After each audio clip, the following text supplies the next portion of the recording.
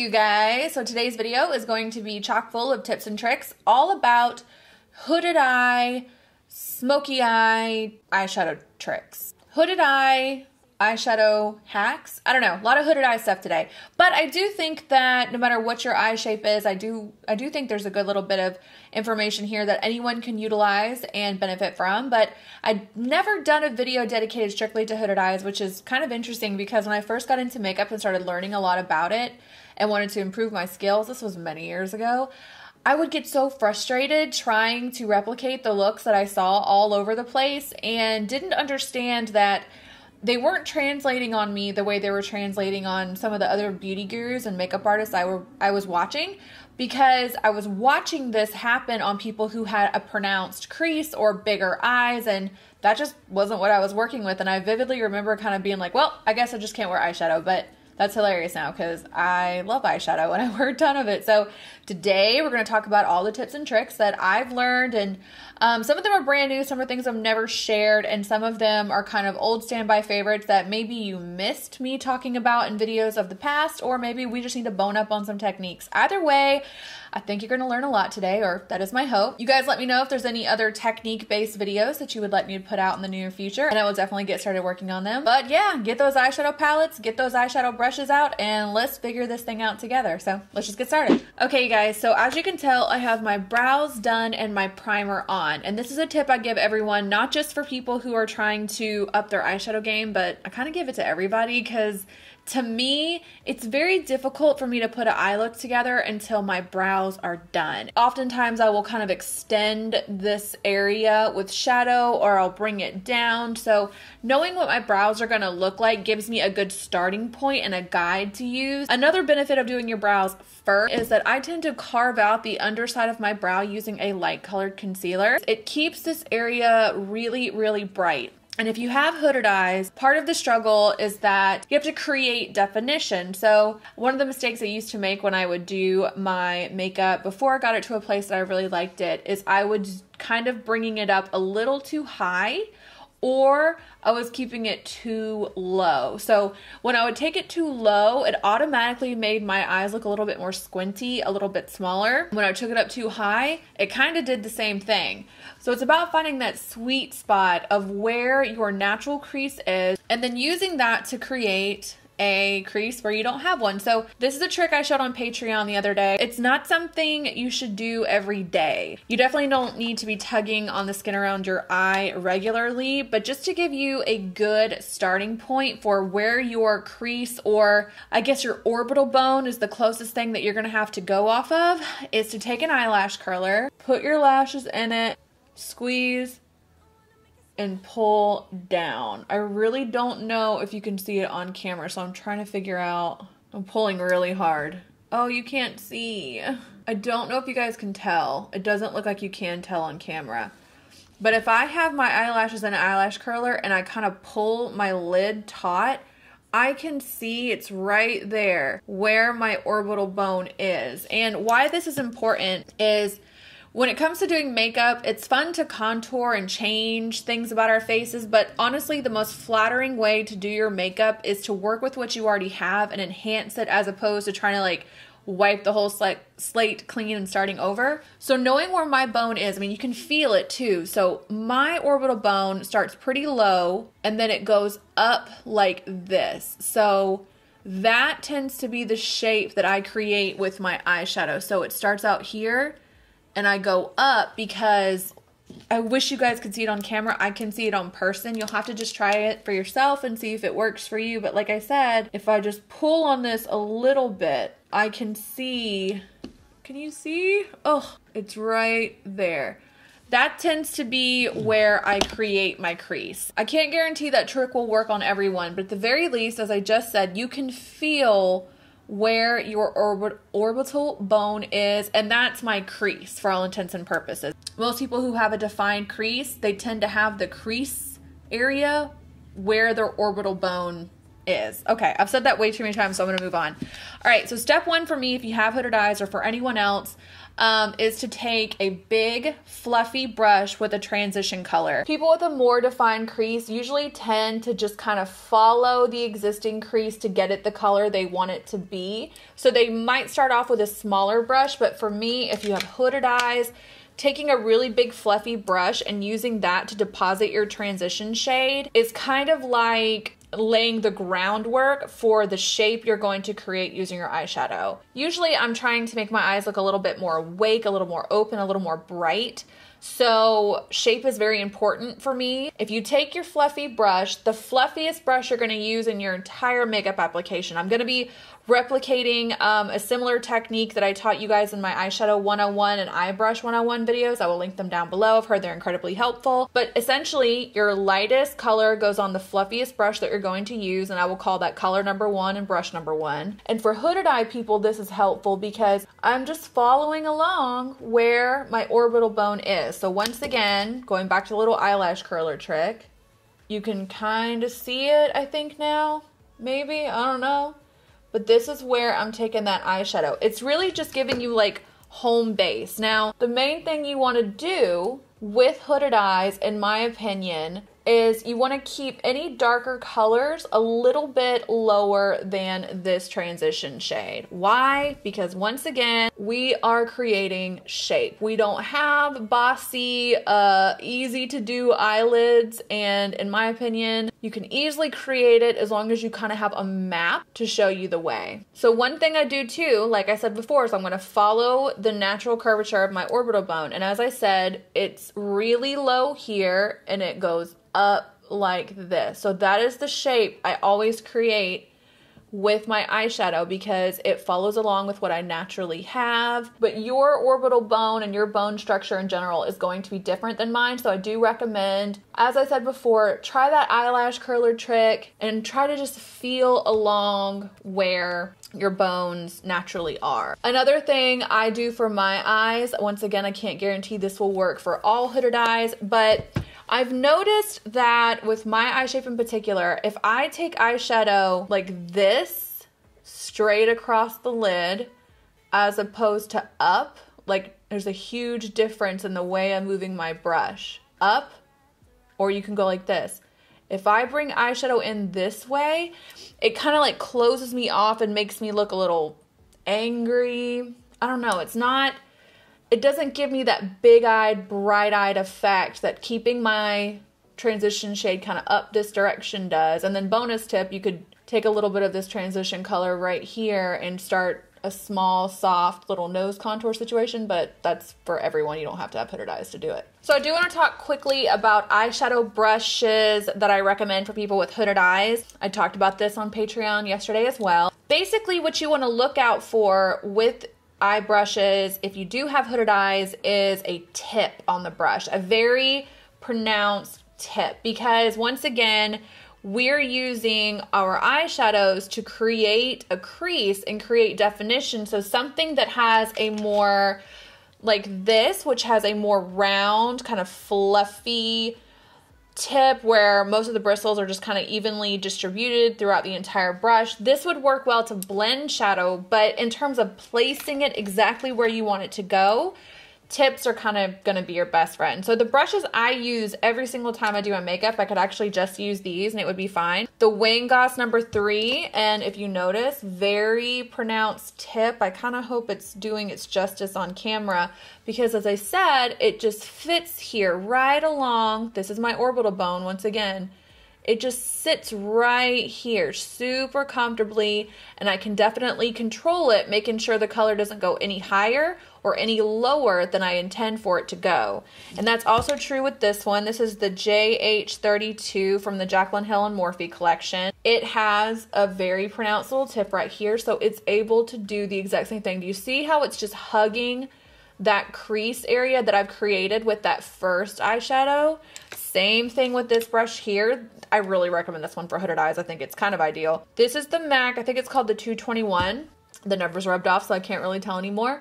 Once again, it hugs that crease. I can control exactly where this color is going, exactly where the placement will be. That's kind of the main trick, I would say, with eyeshadow. I get tons of comments, people telling me that their eyeshadow looks muddy. When you guys say muddy, you guys tell me that it looks like all, it's just like one kind of blob of color. There's no definition or gradient. And that's probably because you're not changing your brushes with your color. You don't need 105 different brushes to create a look. This is four brushes I use every time I do my eyeshadow and it gets the job done. I really don't need anything more than this for my lid and crease work. But moving on, I'm going to take a slightly smaller brush, but it still has some fluff to it because it's going in with my next darkest color. And I'm going to be moving from lightest to darkest on biggest to small bigger to smaller brushes. And I'm hugging just below where I placed that initial product. So you can still see the first color, but now we're moving into the next color. And as I said, I'm just following what my orbital bone does naturally, which is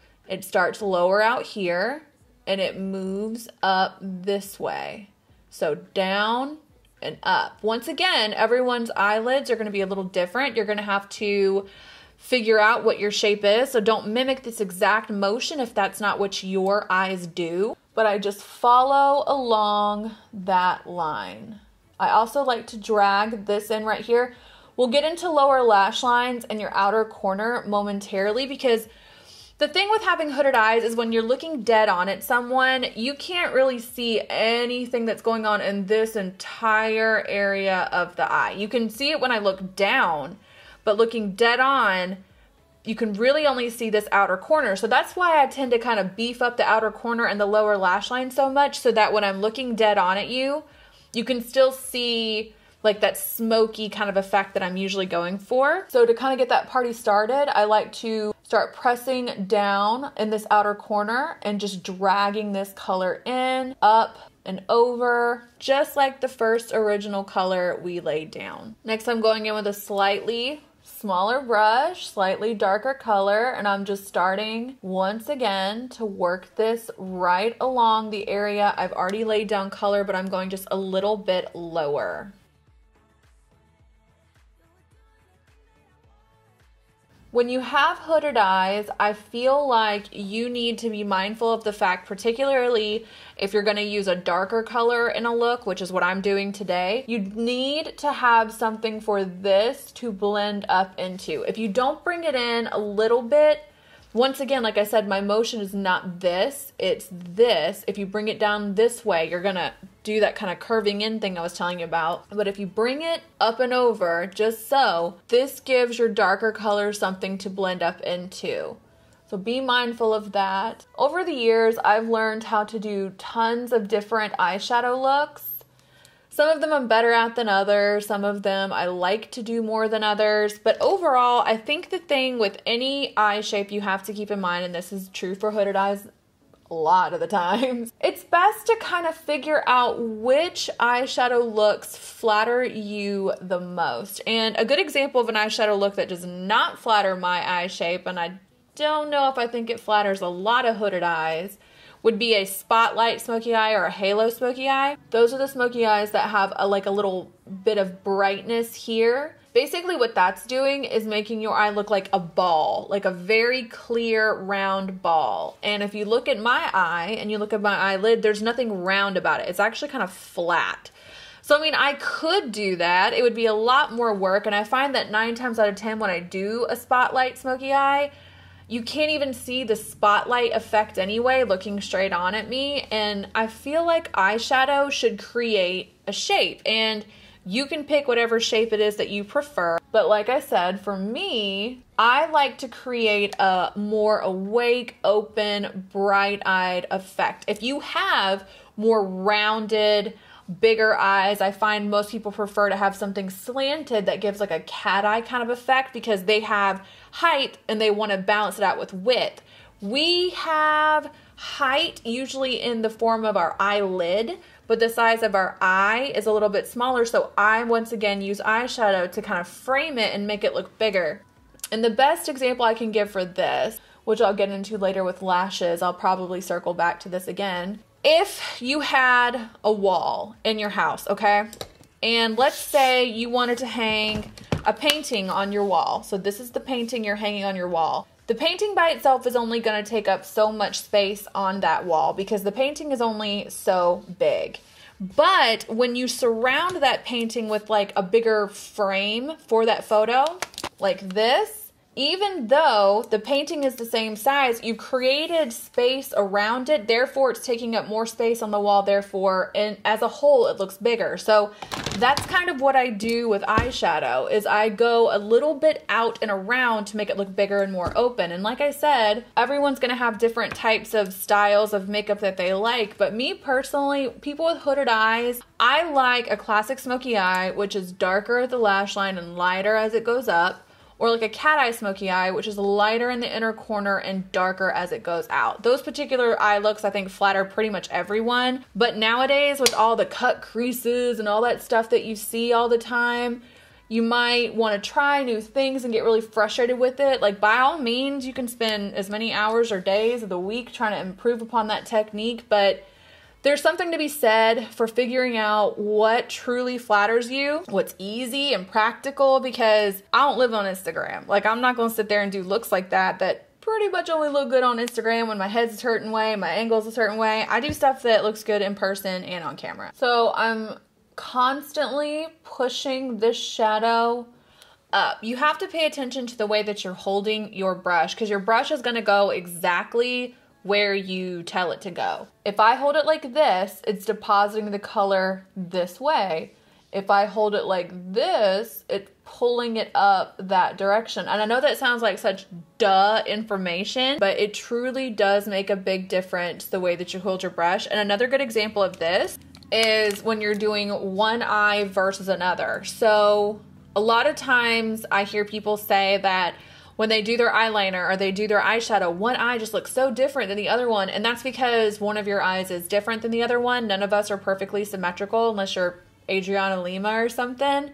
So the way that you combat that, you're never gonna, it's not that it's impossible to make yourself perfectly symmetrical, but come on, like ain't nobody got time for that. So this is my, this is my more hooded eye. This is my normal eye, if you will. When I do this way, if you see how I'm holding my brush, I'm just moving in the direction that I want it to go in naturally because I'm right handed and this is my left eye. So it's just a little easier to deal with. If I go over to this eye, I usually tilt. You guys don't see me do this on camera. There's a mirror right here. I tilt my head so that I'm getting the same view that I get over here because when I look at it the same way on the other side of my face, I'm a lot more likely to create a similar shape than if I just keep my hand and my positioning the same way on this eye that I do this eye. It's just it's just a little weird tip that moving the direction of your head when you're switching sides of your face makes a huge difference. Try it out, let me know. And it's kind of hard to explain some of this stuff on camera. I'm just giving you guys information that I hope you can like take into your real life and implement.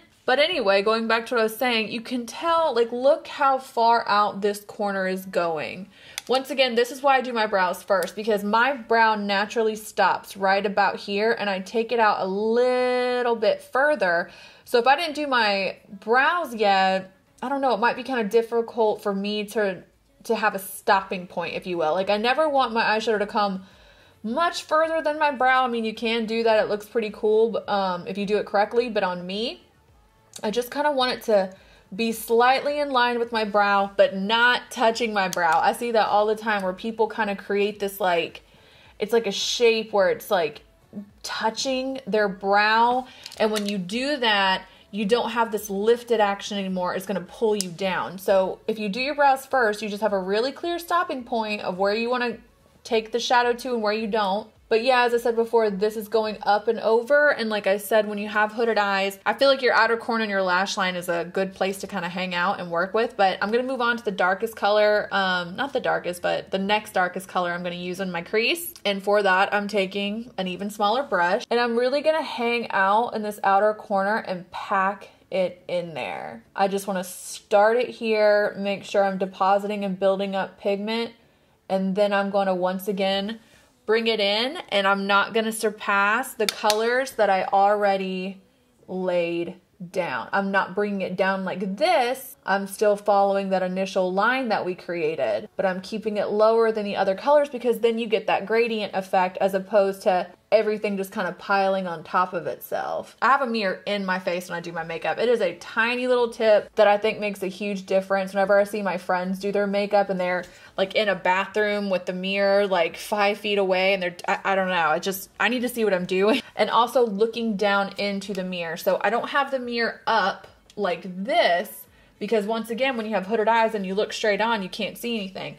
I tilt it and I look down into it so I can see the entire landscape of my eyelid. I don't know. But you can just see this is all the colors we started with. This is adding the darker colors, but you can still see them peeking through a little bit. It gives it that natural gradient effect, as I said before, to kind of go in and keep your colors just a little stacked underneath each other and then always go back with your bigger brushes and soften up your edges. Okay, this next bit is in direct response to a question that I get all the time about hooded eyes. A lot of people will tell me that when they apply a glittery or shimmery color right here on their lid, it transfers all over into their crease area that's going to come down to exactly what you're using. I know that when I use those Stila Glitter and Glow or whatever eyeshadows, that happens to me every time. It doesn't matter what I do. So I tend not to use those as a result. I don't know what it is about that formula that does it. But a good rule of thumb that will help you with that is to re-prime your mobile lid. Hooded lids essentially mean you just have like more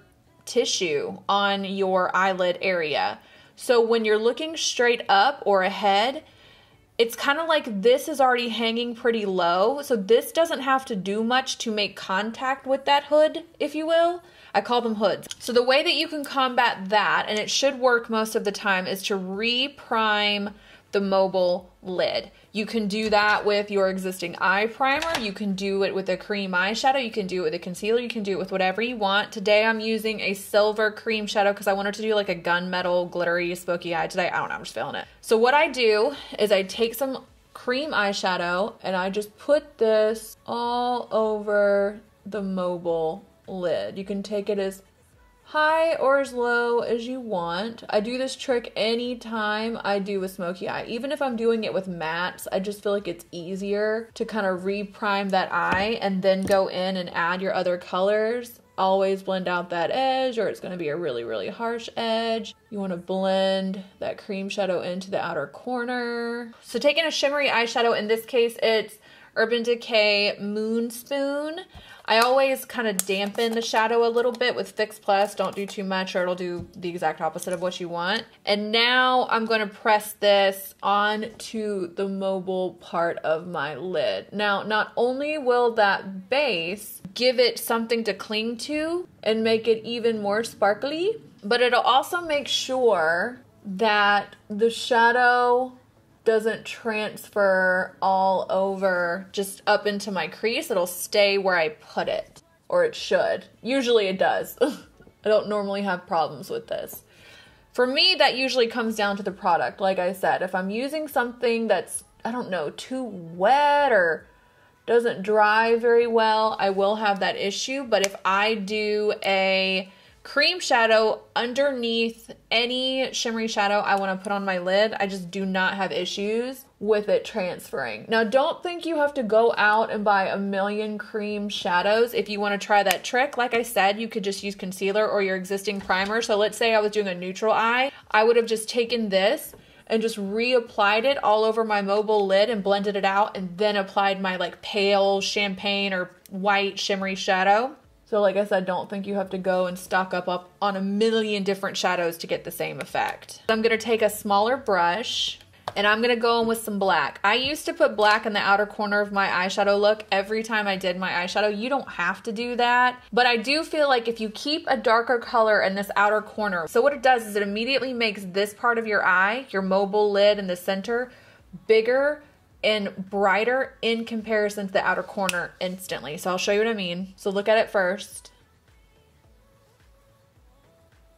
And look at it now. Like, doesn't this, I don't know, am I crazy? I feel like This one now looks brighter than this one. Like my lid pops a little more on this side than this one now because this outer corner is darker.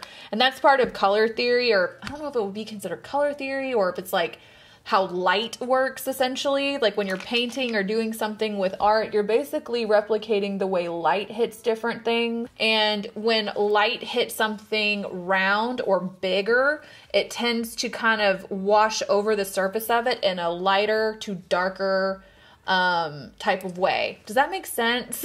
like sometimes it's hard to figure out how to explain things, but all I'm trying to say is if you can keep this outer corner considerably darker than the inner corner, it's really gonna it's gonna beef up that smoky effect and it's gonna make the front part of your eye a little more open looking as a result. I need to figure out how to better explain that. Just try it. That's all I'm trying to say. So moving on to eyeliner. I'm not doing anything too crazy with eyeliner. I will be doing a winged liner video soon. I've never done one before. And I do feel like on hooded eyes it is a little bit different than maybe on not hooded eyes. But the main thing I can tell you guys about eyeliner on your hooded eyes, depending on the shape, this, that, and the third, is I know you guys say my eyes are not downturned, but they are. Like, it is so tiny in the outer corner compared to every other part of my eye. It's like one size here, bigger here, and really pinched out here, which isn't bad or good. It's just what I have going on. So I never take eyeliner like this. Like, if you've noticed the way I've done everything, it's lifting and going up. I'm not gonna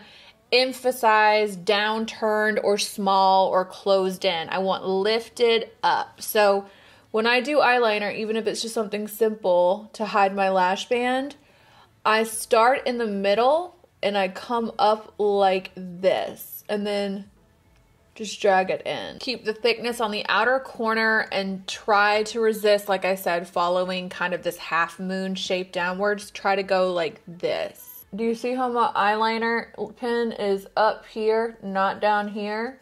That's because, like I said, I don't want to drag down. So instead of coming down here, it's just up here. So for me, as you guys can tell from looking at my eye look right now, whenever I have on this much eyeshadow and the eyeshadow is going all the way up to here, I tend to want to keep my lash somewhere in this length. Sometimes I go a little over, but I don't like to keep the lash a whole lot lower than my eyeshadow.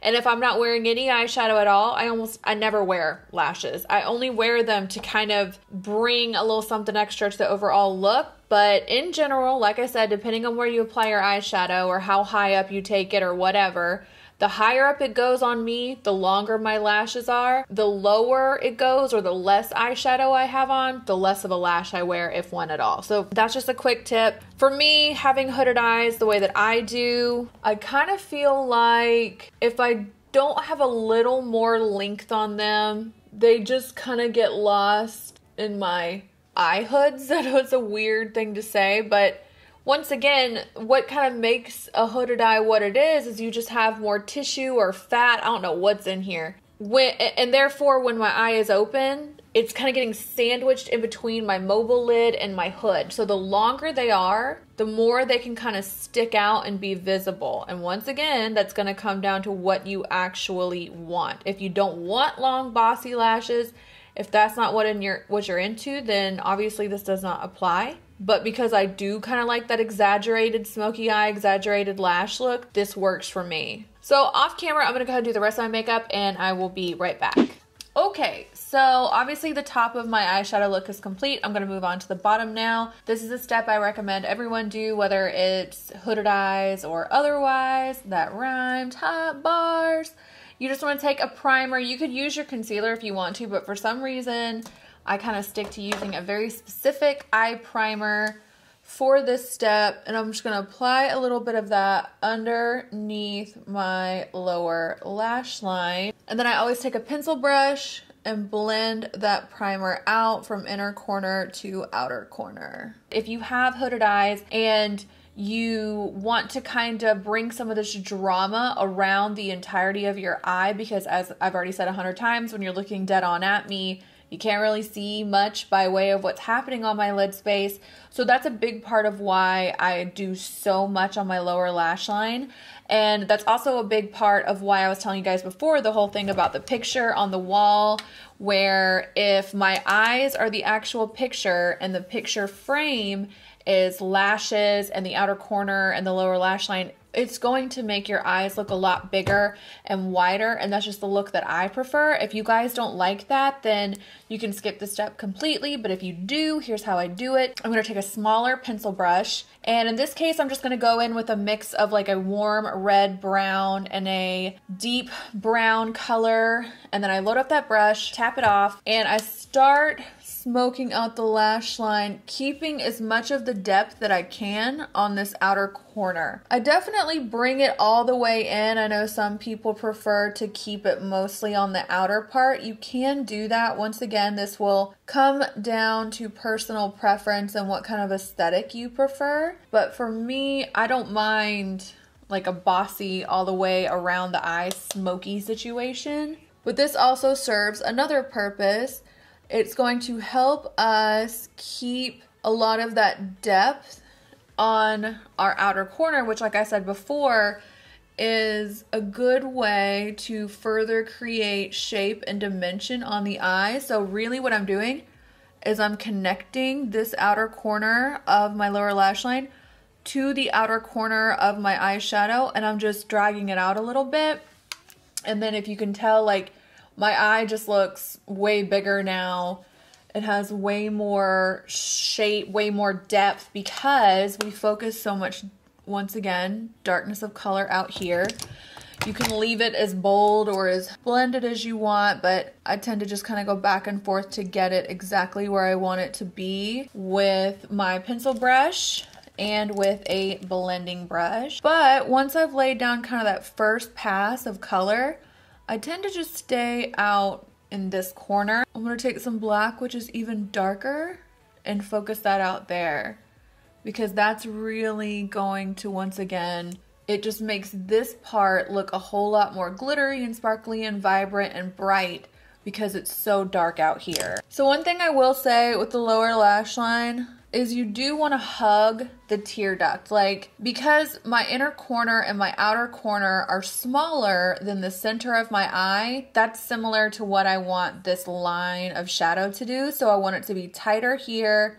It can come out a little here and I let it be a little bit bigger out in this corner, but I don't want it to be as thick here as it is here. Once again, that comes down to personal preference. I just think it's a little more flattering um, but I've also seen people take it all the way down here, you know, as dark as they want and it still looks really cool. That's kind of the hard thing about doing tutorials is I can tell you how to do looks that I prefer and what I think looks best, but you can edit this down and um, subtract or even add more if you want to. It's totally totally your game. You do what you want. And then usually what I do is I'll take an eyeliner, especially if I'm going for a super smoky look like I'm doing today, and I'm just going to put it in the waterline. Once again, I'm bringing it underneath the lash line in the outer corner. And then super quick, you don't want to let this dry or it won't smudge. You just want to take a flat shader brush and then you'll just kind of smudge it out. So if you're looking straight on at me now, we've created a similar type of situation on the lower lash line that we did on the top in that it's lighter here and it gets darker and kind of bigger out here.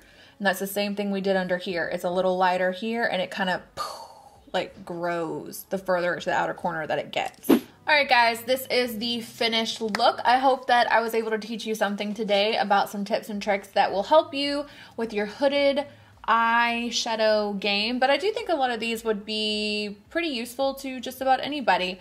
I will do videos in the next couple of weeks about false lashes, winged eyeliner, and in the near future, I would love to get some other models here on my channel to show you different things you can do with different features that I just do not have. But anyway, if you guys enjoyed it, make sure you give the video a thumbs up and subscribe.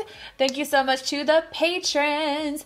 We just had our third live stream over there the other day. I told them a lot of this stuff because they were just asking me questions about it. And um, I would like to continue to do live streams around that type of subject matter. So if you want to have like a kind of one not it wouldn't be a one-on-one. It's a live stream but a kind of intimate q&a session with me about makeup. Patreon is a great place to do that. Also don't forget to check out the war paint facebook group and the podcast war paint will be going live everywhere in november. I will announce the date very very soon. But anyway thank you guys so much for watching. Make sure you check the down bar for links to all my social media platforms and i will catch you in the next one